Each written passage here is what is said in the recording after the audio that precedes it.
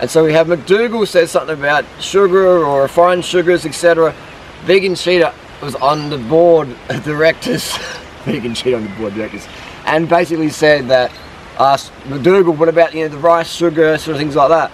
And McDougall danced around the question. Now, I rate McDougall. There's not a single person on the internet who's promoted McDougall more on social media than I have in the last five years, six years. Since 2010, you've seen drmcdougall.com in long end of my videos ending credits. So I've promoted McDougall more than anyone I know online. Uh, my channel's had like 150 million views.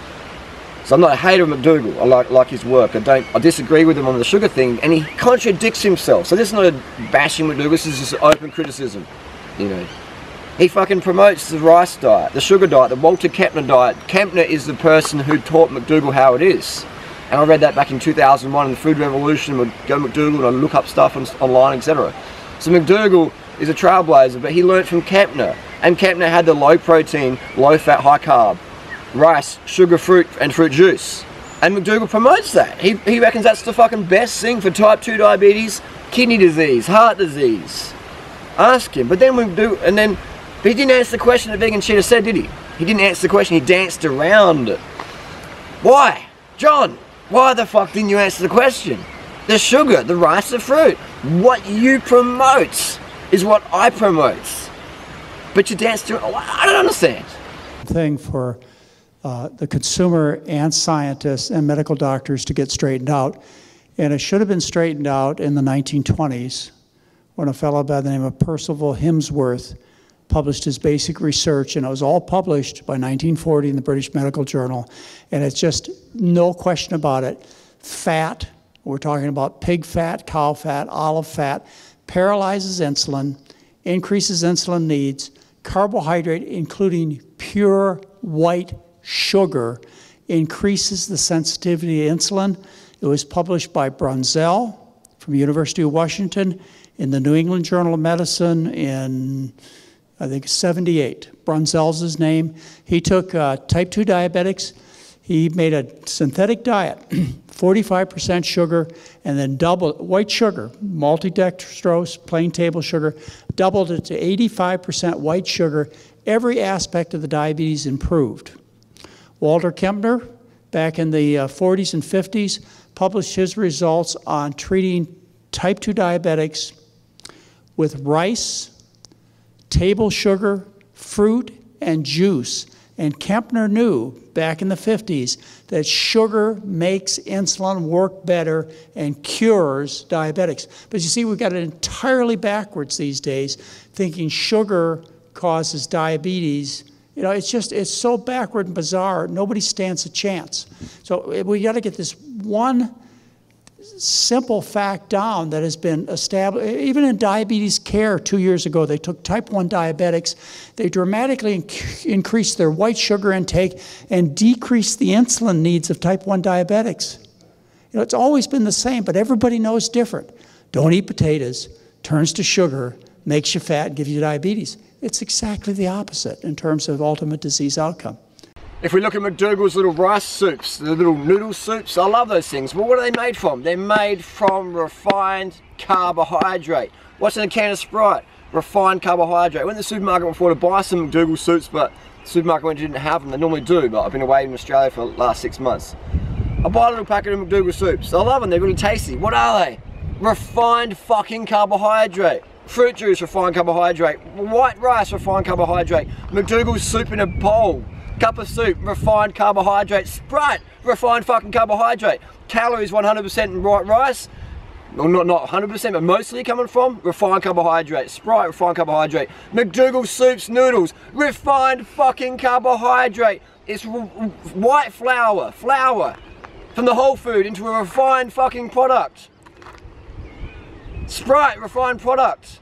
McDougall soup, Sprite, it's a refined fucking product. Where's the vitamins and minerals in a fucking McDougall soup? There's fucking. There's fucking both of them. They're both refined calories, man. And they both motherfucking get you emaciated looking. Lean, motherfuckers, lean.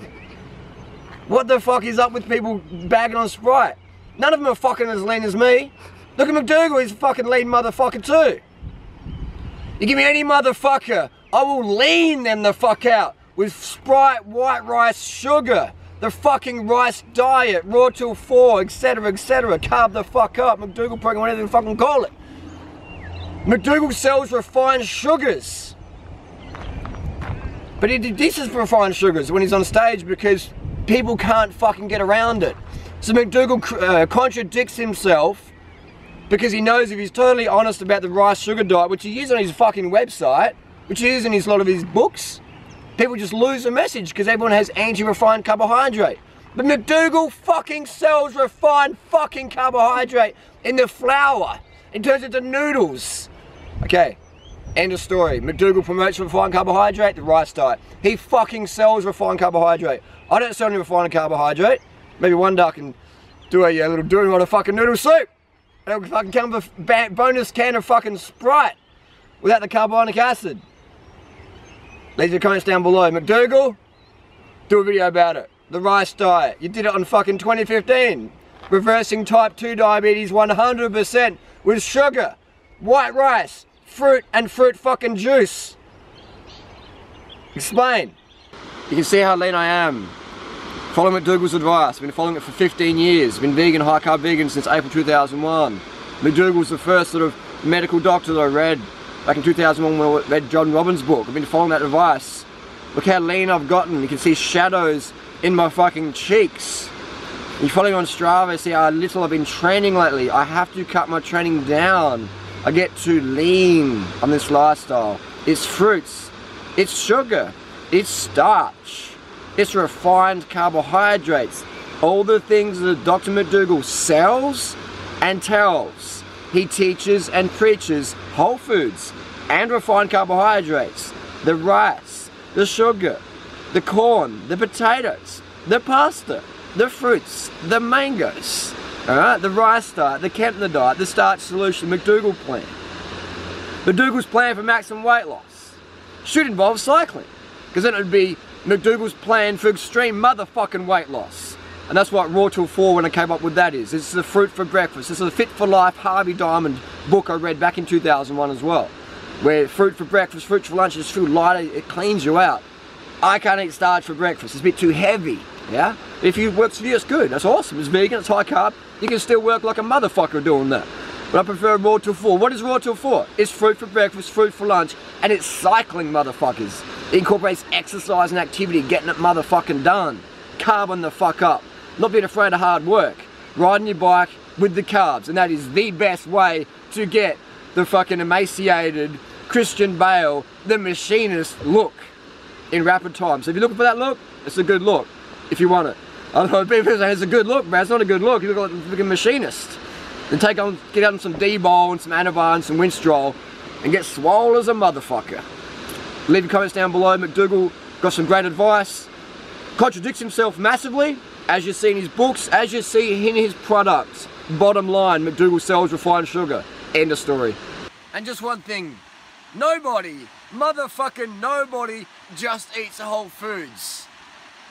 Smoothies, Dr. McDougall noodles, pasta, pizza. Pizza's not a motherfucking whole food.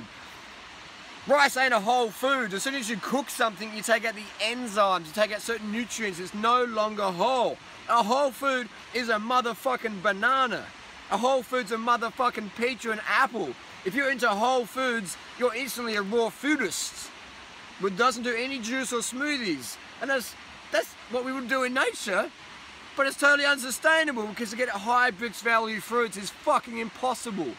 Bill Gates couldn't even get high Brix value fruits every single time. Or maybe you could. Maybe you could. It's going to cost you a million bucks a year. And you'd have to like have select growers who knew what the fuck a high Brix value fruit tastes like. And then you're on a whole food diet. As soon as you motherfucking cook something.